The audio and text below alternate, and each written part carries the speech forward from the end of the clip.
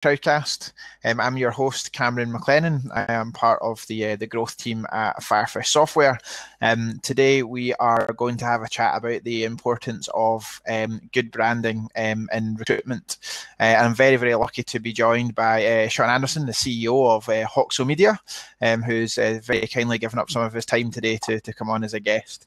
Sean, just before we actually get into the questions, can you um, tell the audience a bit about yourself? Sure can, Cameron. Appreciate it, mate. Uh, thanks for having me on. Um, You're welcome. So yeah, some people on the on the call do know me, as you can see, um, and others probably don't. So um, really, to give you a quick overview of myself, um, I've been a recruiter myself since 2011, or was a recruiter since 2011. Um, started off my career in Australia. I was a I was a school teacher in the UK who went travelling um, at the age of 24, 25, and didn't know where I was ending ending up landed in Melbourne and thought, right, well, I don't know what to do now because my qualification wasn't valid. Uh, two nights later, I met a lot of English and Irish lads in a bar one night. I think there might have been a Scotsman there just for you. Uh, and they uh, they were throwing money around. They were they were talking about how they could live there for four years, and I was thinking, what on earth is this? How are they not picking fruit like everyone in my hostel? Um, anyway, cut a long story short, I, a couple of days later, I started picking up the phone in, in my own hostel and BD'd myself into Randstad. Um, and I had a, I got a 457 visa there. Did a couple of years in, in Melbourne. And then I, uh, I came back to the UK when I was about 26 to ultimately set myself up in recruitment and work for an organization where I could see myself growing and, and building a career and an agency with with backing and support from some some good owners. So I joined um, a business transformation recruiter called Venquis. Um, at the time, with about six, seven people. Um, I think now they're about 52 over, over three locations. So um, I joined them in 2011 and worked with them for just under five years. Um, I did all right in in uh, my time. I was a contract recruiter into the um, okay. did just over 700 grand in the third year on my own, and then became a manager, um, and ultimately became a leader of a team. I think I, I left with about seven direct reports, um, and my story is that I was always to set up a recruitment company, right? Like you would imagine, the yep. top the top biller story. Um, I can do it myself and and can take the mission and all the rest of it. Um, and so about 18 months before setting up, I, me and my partner, um, who's also a Hoxo media partner now, um, we we met with a branding guy, a guy I grew up with, someone I trusted, to to have yep. a conversation a little bit like this, to say, look, um, I've worked in an agency that went from having no marketing to some marketing to very good marketing. I knew how how valuable that could be, um, and I knew there was going to be a couple of us in a room, as many startups are, um, and I didn't want to be reliant on just picking up the phone. Um, I wanted to get. I love social media from a personal perspective, so I thought, you know what? How can I use stuff like that in and and make more money quickly and um, not be as reliant mm-hmm. on because I know I just know how busy it can be. So, having had a conversation with the guy, the the marketing guy, we he basically just gave me like a bit of a straw diagram as the things we should do, um, and I was really excited. I mean, really, really excited to the point where after a couple of weeks of speaking to him, I thought to myself, I'm a little bit more excited about that than setting up a recruitment company, which is dangerous when you're about to quit your job. Um, so, uh, over a period of time, about three, four months, I thought to myself, I'm I must be quite a good barometer for the current recruitment market. Um, if I'm this excited about it, then there's got to be plenty of recruitment agencies out there as well that uh, small to medium sized organizations who may or may not have a marketing team that would would love to um, have the experience of someone like myself from a recruitment perspective, but also added with a marketing expert. And that was the idea of, of Hoxo. Hoxo was originally going to be called a recruitment company, just called Hoxo. Um, but as we yep. decided to, to launch a recruitment specific marketing agency, we called it Hoxo Media. Um, so that that started at the beginning of the year. We we started in March. Um, we we quickly grew an agency of of creative people. So we've it's not just myself and this marketing guy running around. Uh, there's three three directors, um, and we've built a, a, creative function. So we've got graphic designers, videographers. You may see in the background there's a guy running around with a camera. Um, we film everything yep. pretty much what we do every day. Um, and we've got website guys, we've got copywriters, we've got SEO guys. Um, we've got myself and, and Amar, one of my the CEO, COO, is an ex recruiter as well. Um, and we've got the marketing director, yep. and we've got three marketing execs under him. So ultimately, we are a full service agency that you'd get from a marketing perspective, but also driven by the recruitment knowledge that we've already got to work with organizations, agencies to actually add some value. Um, not yeah, yeah, not spend the first three months trying to work out what the hell you do for a living, but we get that. We know yeah, that we've been there. It's about then how do we translate all the great ideas you've got uh, and all the business strategy you're trying to achieve, and underpin that through social media, through the the marketing stuff that we can we can deliver. So, does that does that answer enough and give you enough of what you're looking for? Yeah, mate. It's really good. It's good as well that you've got the you've come from the recruitment background as well. So when you're sitting there having a conversation with an agency owner or whatever, you've been there, done it. You know the challenges that they're facing day to day just to run the business. It's only well, last year, so, it's, so it's not. Um, I think I've found that as well. A lot of the people in in the marketplace have either either still in recruitment or they've been out of it for a long time. And I think we kind of bridge that gap mm-hmm. a little bit. We kind of fill a bit of a void where it was only last year um, that we are in it, so it's so fresh. Yeah. Uh, I guess that'll change over time yeah. as well. Yeah, definitely. Um, so for you then, like, what is um, what is a recruitment agency brand? What is a recruitment agency brand? Branding is one of those words where typically, it can, I mean, it's everyone. It means different things to different people. Um, ultimately, to me, it's yep. not sales. All right, it's not transactional sales. It's about how it could be a personal brand or a company brand, but brand is how how is how are you perceived by the person who either hears or sees your your name, um, and that's both factual and emotional. So, um, mm-hmm. a brand is something that lasts in the marketplace and is, um, yeah, is is what people think of you. And I, I always, again, it goes back to recruitment days. I always I was taught from an early age that perception is bigger than intent, is more powerful than intention. So it doesn't matter how you come across mm-hmm. to someone or you, you intend to come across to someone, that client or that candidate or anyone in life, how you're perceived is the most important bit because they'll make their decision based on how they perceive it, not based on how you intended it because you don't write that down. So your brand is your perception. Yeah. It's your, how do you want people to, um, to view you and value you? Yeah. Brilliant.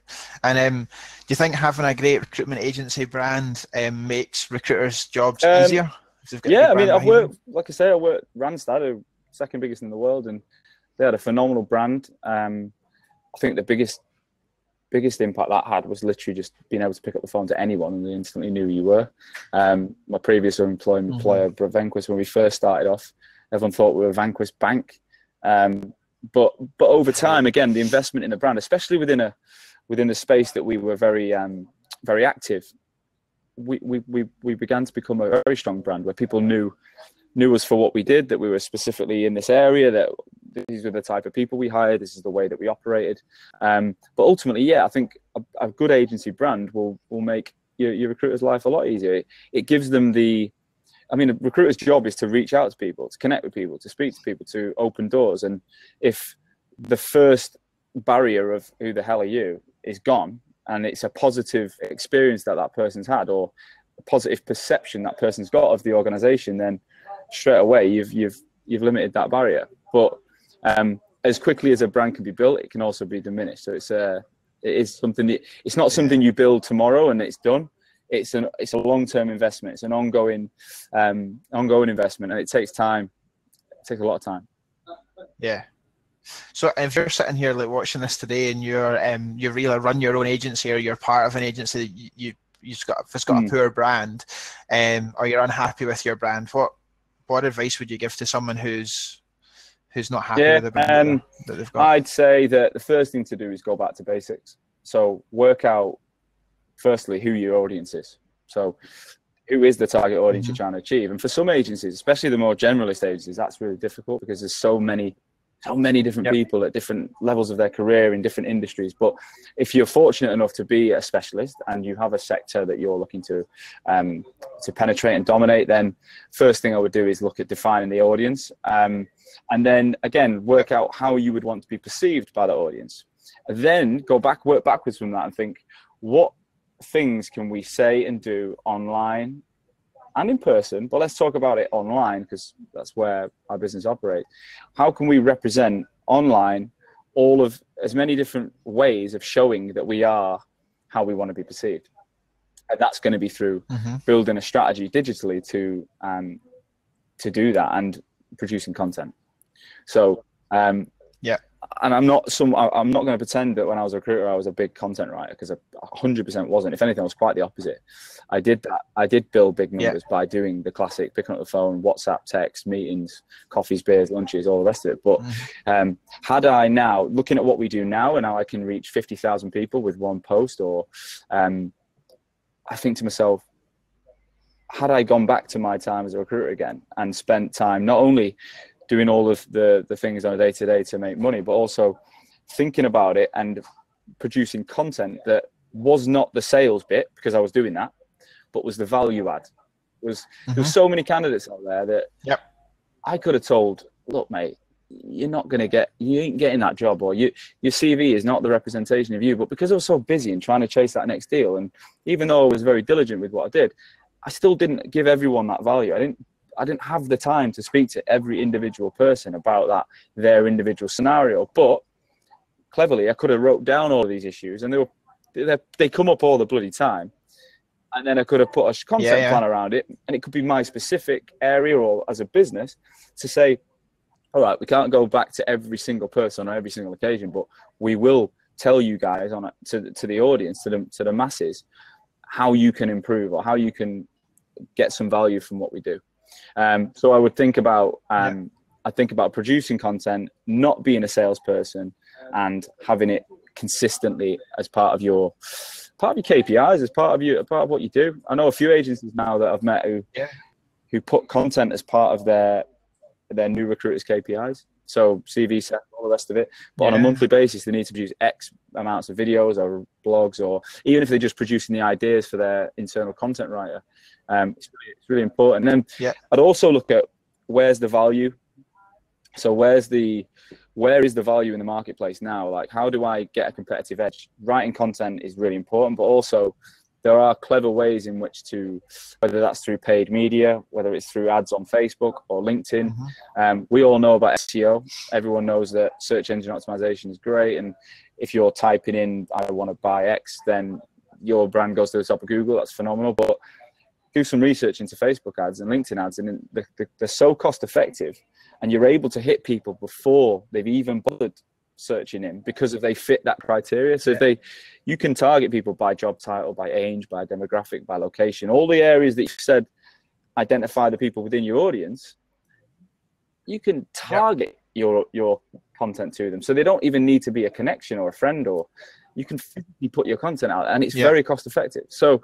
Um, it'd be okay. I guess that really starting with a strategy, breaking it down to what content we're going to produce, and then how can we organically and through value-added content get it in front of the right people. Awesome.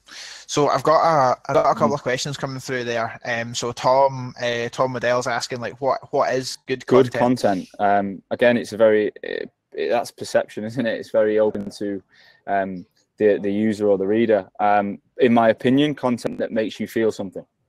So if you mm-hmm. if you try and work out, we all scroll every we're all addicted to this. Let's not pretend we're not, right? We're on it every five minutes. We scroll, we scroll, we scroll. How often do you actually like something that you like on social? Pretty rare. You might yeah. You associate to it, and yeah. oh, yeah, that was a bit funny. Oh, oh I know him. Yeah, I like that. Um, oh, he's just starting out. I like that. But reality of actually liking something or feeling some emotion from something is quite rare. So that in, is my yeah. perception of good content. It's something that would make me feel something. Now that might not always be positive. It might piss me off. It might make me feel excited. It might make me feel yeah. ecstatic. It might make me feel sad. But ultimately, content that makes me feel something, and that is where the value. You've you've had an emotional yeah, connect, connection to that, that content. Um, hard to quantify exactly it is hard, and I think as well. I, think the recruitment industry obviously is all about all about closing, uh, closing and uh, and uh, and billing. I think um, good content sometimes can be um, should, should be something that adds value to whatever you're doing or your to your audience. You know, it's got to add value to the to the audience and not be a picture or a sale. Um, so we've got another good question coming in here from Hamza. So content writing seems to be the key in inbound marketing, especially if you're responsible to manage brand, market, and digital social media. In your views, how important is it for us to engage in sponsored posts using our own original content? Yeah, I think um, sponsored posts, um, paid media, using again, it goes back to the audience that you're trying to capture and the strategy. I think everything I'm going to keep throwing back to you is why. What's the point? It, mm-hmm. to to the person who just asked that question or the previous person, they're going to have different markets with different audiences, with different outcomes, different objectives. So it's not a one size fits all. Um, but if you can guarantee that you can um, you can pinpoint your audience, you know where. I mean, mm-hmm. we know that most of ours are on LinkedIn in, in a lot of recruitment scenarios. However, um, yeah. if you do recruit, for example, grads or the younger generation, then they're on Instagram. 50% yep. of our team at Hoxo Media we found through paid ads on, on Instagram. We identified where which universities and which job titles and which skill sets they would come from. And we also knew that they wouldn't be spending their life on LinkedIn because they wouldn't even have an account on most occasions. So yeah. very different from a recruiter who spends his life on LinkedIn. We then executed a completely different campaign, video content, testimonials. We got the people we'd already hired in to talk about how good it was, etc., etc., etc. I think the, the whole ad cost like less than a hundred pound, and we hired like four people from it. Um, so some return on investment. But it, it was again, it was it was all about the objective and identifying the audience and identifying where they hang out and um, if paid media in that instance allows you to reach more people faster and target mm-hmm. and track, then yeah, hundred percent. But if it's you're just boosting posts on Facebook because you get a little notification that says, "Oh, reach ten thousand people," then it's a bit it's all vanity in my opinion. I think followers, likes, comments, engage. It's all great, but if you're writing about something that's not nothing to do with your, your subject matter, um, it's not part of a strategy. There's no, it's not linking to something else. Um, I mean, what's the value? Uh, it just you, yeah. you've got to measure that. Yeah, smashing. Um, quite often as well, you know, I come across loads of different um, agency brands on a, on a daily basis and get get the fortunate um, opportunity to speak to lots of people that, that run agencies day to day and quite often people struggle to identify like a unique brand story a lot of the messaging is you know we'll find you know they put themselves out to market saying we can find people that nobody else mm. can and that sort of thing but everyone says that mm. it's kind of like our um, bespoke um, if, process our unique process to find candidates is just it's yeah, the reality is like unless you, so unless you bought some kind of tech product that allows you to yeah. do something differently, and there's stuff out there, we know that, then it is. Yeah. Um, I would relay that again back to the personal brand and the what the perception, like mm-hmm. genuinely. Um, what how would you want to be perceived and what what makes you you like if you if you own a recruitment company and you share it with a couple of guys i'd work out like what what are your genuine usps what was it about you three that that brought you together what was it about your previous? Yeah. Like for me, I told you the story about where I started off. Um, I told everyone that from the day I started in recruitment. I told everyone about my past, where I'm from. What I, I just would pour out to people. And I, I mean, when I first did it, I remember people used to think, "Oh, he's a bit of a big head. He loves talking about himself." And all my uh, my colleagues in recruitment used to think, "Oh, he just loves talking about himself." And then when the deals started coming in, they were like, well, what's what you do different? I said, well, I actually tell people about uh-huh. myself. Therefore, they tell me stuff back about themselves. Um, and I think uh, yeah. it's a little bit like that with with your brand. It's going, how much do you tell about yourself and the reality of your business? Like we're filming this right now. That camera in my face, um, bloody used to that by now. Um, people see everything we do. Like if you watch Hoxo live episodes on a weekly basis, they're, I mean, we edit them in terms of to make them attractive, but we don't edit anything out. You don't you, see those laughing and joking and drinking and swearing and attending events and um, that's what people buy. That's what people connect with. That's what people want to work with. Not a, a company yep. strap line that means well means nothing to no one. So um, for me it'd be about if you if you're struggling you want to build a usp go back to who you are as people. What make what makes you a good recruiter? And relate it back to specific examples as a person um, and get that out online. You can only speak to one person at one time, or you can only meet with one person at one time. If you put good quality video content or written content out in the right channels, because you know your audience is there, you can reach thousands in a day. And yeah. if you if you add value over time, and then you you do add a call to action of get in touch, call me, click the link, whatever, then you're driving. You will be driving people to you because of you and because of the things that you've.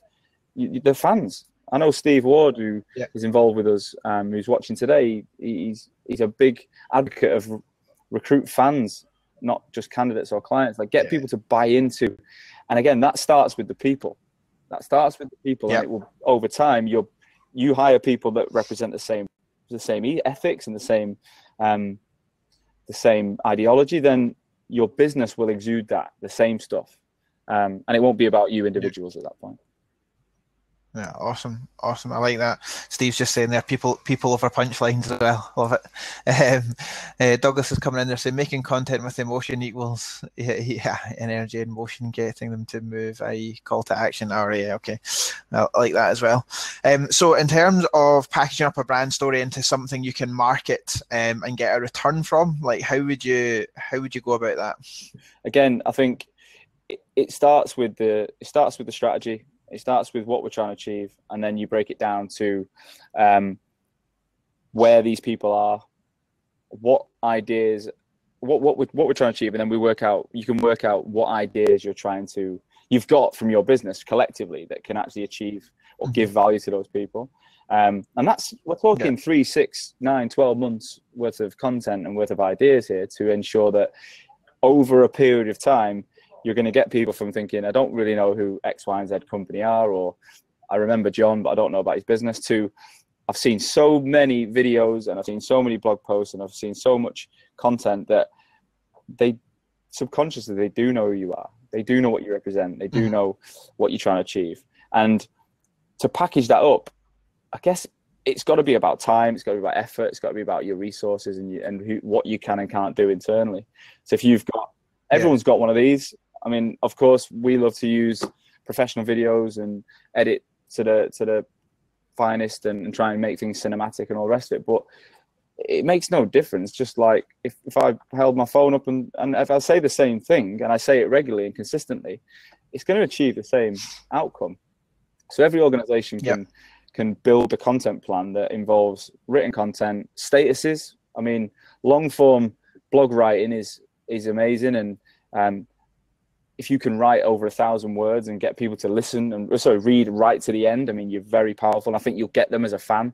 But the reality of how short Yeah. our attention spans now, it's it's it takes some real skill. So um, putting regular status updates on your LinkedIn that aren't hot job, contract role, five hundred pound a day, like everyone else in the recruitment industry is doing. Actually, ask questions to your audience. Give an opinion. Everyone in everyone in your Yeah. business should give an opinion. Should have an opinion on what they're doing, because otherwise, you're just you're trying to please the masses, and that I mean that's not going to achieve anything.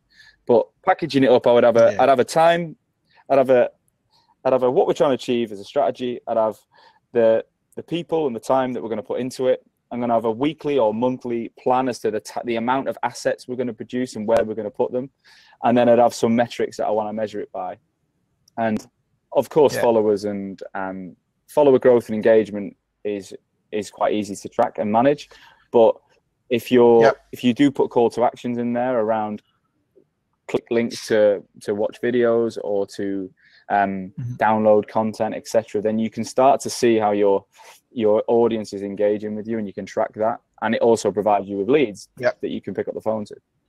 the, the assets the, the assets is an interesting point an interesting point because I don't think enough um necessarily enough owners appreciate that it's uh, it's Yeah. tough it's not easy to, to to get to a point where your your brand's manage well and you're you know you're creating a, a real buzz about you it's like quite often it's a oh we'll set an hour aside a week to um to put Mm. into this Re- realistically you know to to get to a point where you've you know you've got a, a decent brand how much how much time and effort do you think that takes I'd say years.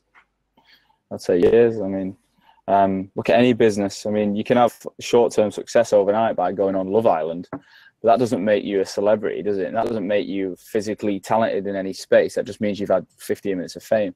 And I think a recruitment company is a bit Mhm. like that. That you can have a one great year and bill a million pound, but that million pound is not going to pay you a million pound for the rest of your life. Um, it's about Yeah, it's investing in the long term. It takes time, and I think um, if I'm any advice to recruitment owners would be if, if you're happy making money as you are today and picking up the phone and doing all the things you've done, then there's no reason why you should change that. If that if you love that lifestyle and you're able to do it and you've got the network, like it's not for everyone to suddenly flip what they're doing. But if you are trying to grow a, a business where you're you want others to come through and demonstrate a similar values and and um, one day not necessarily be physically attached to the phone and have people come into your brand, then starting to produce content and assets and starting to think about how you're represented online from the beginning I believe it's a bit like saving in a bank. You you can chip away at it month in month out with small amounts, and the compound effect over time will will mean that you can step back and you can allow um, yeah. your brand will outweigh your personal name, which every recruitment agency starts by someone who's got a pretty strong personal brand in the marketplace.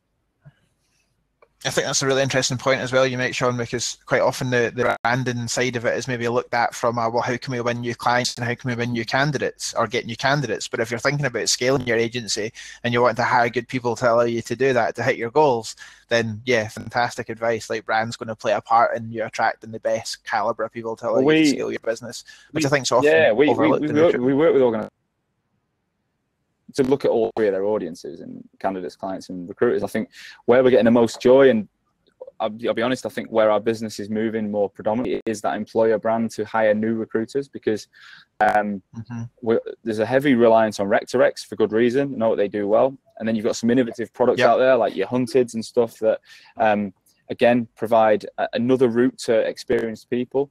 But really, um, finding good quality recruiters or great quality profilable people, and that's possible as well.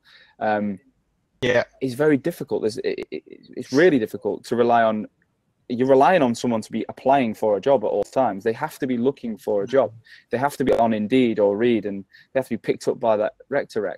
Whereas through social media and through branding, if you can profile the type of people that work well in your organization. I mean, we we had I'm an ex-teacher. We had a few ex-teachers. We had ex uh, we had ex-Royal Marines and guys in the military. We had uh, some of the best people we had came from Premier Banking in um, like Barclays and um, HSBC, and there was reasons for all yeah. of those working out, as well as we had some experienced people and we had some grads. So we probably had four or five personas of people that we could profile, and then it's about mm-hmm. going right. Where do these people hang out again? What do what are they interested in, and what over time is going to attract them directly to our brand. Um, yeah. But also, if they if they do happen to come via a Rec2Rec or a referral or a hunted, then why are they going to choose us? Well, they're going to look at your website and they're going to look at your social media channels before they come in the door. They are going to. Yeah, that's the thing. Like if you're if you're, if you're talking about that, the fan side yeah. of it, isn't it? If, they, if you don't have content to create fans, then how are you going to do it? if you place? think today you can, well, you can. I know you can. You can rely on a CV coming in and getting in front of them and then speaking for three or four hours and being able to, you know, um, sell yourself really, really well, that will work to a degree. But if you could take people on a journey where before they've even walked into your organization, they've met most of the staff, they've seen the office environment, they know what the, the reality of the job's like, they've seen what incentives you offer, um, they know what you represent, they've heard your original brand story, then yeah. if they actually walk in the door, they, they become, they're already a bit of a fan because you know yeah, I mean? And you'll be sure. standing out against your competitors. They'll walk in the door feeling that they know you. I mean, it's like the content we've put out over the last six, seven months. I go to a, a meeting now, and more often than not, recruitment owners will ask me questions about things I've never spoken to them about, but it's because they've watched my videos or they've read what we've written. So um, it's a completely different conversation, but one that well, I think really powerful. That's how we met. Yeah, hundred percent. Yeah, the video online, and then we decided to catch up uh, for a beer when we were in London. I was in London, so yeah, it's, it's the, the power of it's really really yeah. strong. Um, got a couple of our questions coming through here that we'll just yeah. fire over. So, um, what are your thoughts about competitors replicating your content, um, or taking uh, slash taking a lead from your specific value add? Um, I think look, if, people are going to replicate. I mean, what everything that every recruiter does has been probably done before. They're not. You, what you can't replicate is you. It goes back to that original story again. People. Yeah. What you cannot replicate is your exact culture and your exact story and who you are and why why you are proud to be you and what you do. It's not possible. All the all the uh, ways in which you you market that out. Yes, of course, other people will, will jump on, but actually look at it as a compliment. If you're already ahead, if you're you're yeah. the first mover advantage, you're the people that are out there doing it.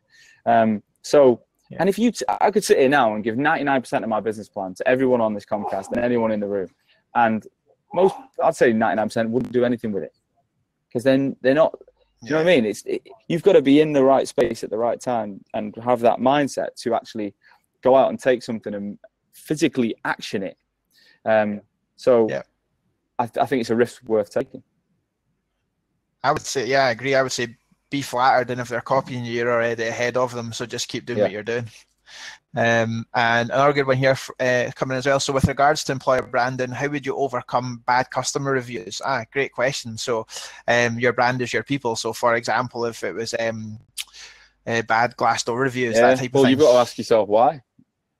Why are you getting bad reviews? I mean, there's something going wrong internally. Like your brand is, if your brand's saying one thing and your people are doing completely different things, then there's nothing your brand can do to fix that. If you're communicating that we're honest and reliable and we are trustworthy and knowledgeable, and your consultants are shafting candidates and not replying and sending crap CVs that don't fit the bill, and do you know what I mean? What, what there's nothing your yeah. brand can do to fix that. You've got to look at the in, internal management of your staff and ensure that, look, guys, this is what we do, this is what we stand for, and go back to training exercise. Um, and ultimately, as yeah. well, one of the biggest things about online communication is it is two way. So when someone writes a negative review, how often do you see someone actually go back and respond and and mm-hmm. and apologize and say, look, we're we're sorry you feel this way, but we're working internally to make sure that it doesn't happen again. It's that kind of so many people.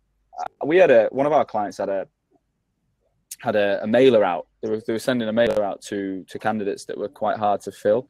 Um, sorry, they had they had lots of candidates, but they were um, they weren't they were all over the place and they, they collected them over years. But this one role they sent out and then they sent it to the wrong person on Twitter. And on Twitter, he just shafted the company. He wrote, what are our XYZ recruitment? Clearly don't read my CV. Um, quick response from their social media guy. And he, he said, look, fair play. Thanks for responding. That was, I didn't expect that. And kind of the thumbs up. And it was like, simple as that. It's a bit like saying, why, when, yeah, when you tell a candidate you're going to ring them back, ring them back. Same thing online. Yeah. It's exactly the same thing online. Yeah. Yeah. Um, and our uh, question from Elliot. So, what are the best ways to track ROI on branding stroke content creation?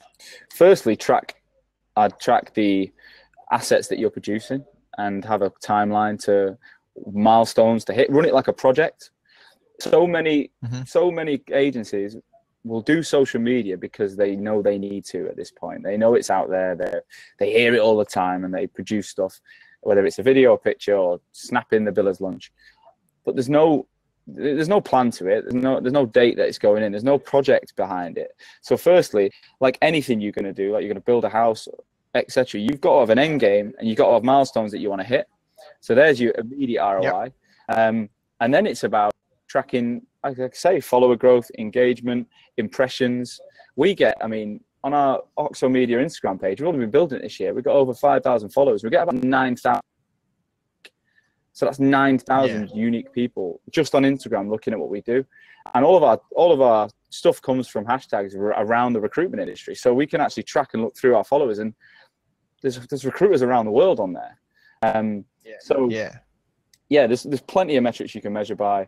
Um, to begin with, I would look at the consistency of your input. Um, unless you're spending millions, but your consistency of your input, and look at the, the basic metrics of people that follow you, people that read your content. So, for example, when I started off writing content in this year, I was getting four or five hundred people that were viewing it. Now, like I say, an average post of mine will get ten thousand views, a good post fifty to hundred thousand views. So that's clear ROI. And then I actually track based on that, there's links back to our website and to other areas that we can see the journey of how people are moving through our content. Um, and it always leads yeah. to it always leads to people either picking up the phone or engaging, and then that's a lead, isn't it? Pick up the phone to them. Hundred percent, hundred percent, mate, hundred percent. Brilliant. Brilliant. Um, thanks, very um, thanks very much for your time, Sean. I think we've um, we've covered off loads of good stuff there, and I think there's lots of value for um, people to take away. Just before we uh, wrap up, if you had, um, I guess, one bit of business advice when it comes to to branding uh, for the people that are on here, um, what would that be? Start now. Start now. Start very small. It's literally like saying you are 20 and you've got a pension or you've got you've got to save money. People think, ah, I'll put it off. It'll happen. It'll happen. What, what are you waiting for? Do it now. Even if it's basic stuff, status updates on your LinkedIn. A couple of use use LinkedIn video. Last week they launched it. Now you can do a video. You can upload it natively from your phone. Talk about your thoughts. Talk about your opinions. You're all confident in standing in front of clients and pitching yourself. Do it on your phone. Put it out there. See what people say. I, I guarantee you'll get a lot of people backing you saying well done. They'll actually they'll Yeah, respect you for it, and it'll start with that. It's confidence. Awesome. Brilliant. Sean, thank you very much for your time. Thoroughly Appreciate appreciate, it. it. Cheers, All buddy. the best. Thanks for everyone commenting and thanks for all the questions as well, guys. See you all soon. Cheers. Bye bye.